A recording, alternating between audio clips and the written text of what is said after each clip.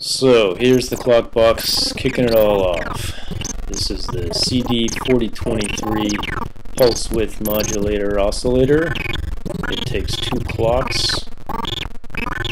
And over here we have the 4-bit pseudo-random generator, which feeds an R2R DAC, which goes into this home-rolled opto-isolator.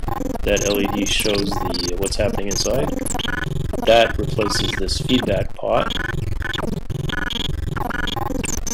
And down here we have the triangle wave shaper.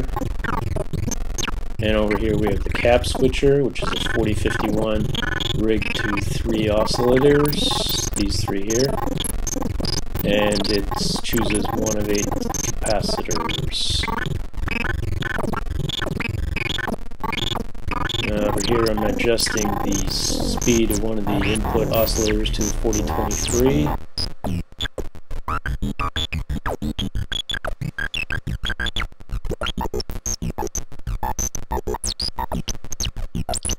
This is adjusting the clock speed of the pseudo-random bit generator.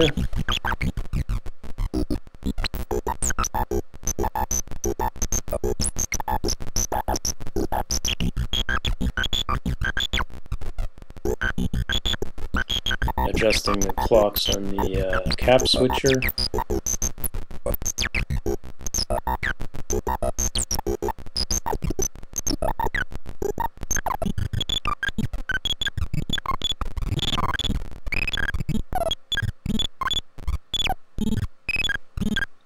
Oscilloscope.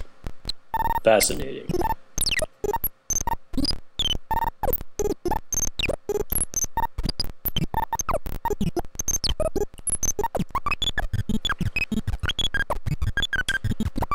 The sprawl.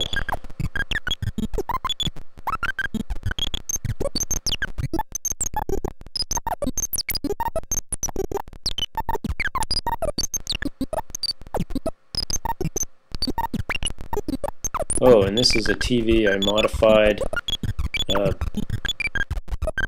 steering coils are fed with the audio, so it's kind of roundish. And I put a round sort of window on it with a, a, a yellow gel.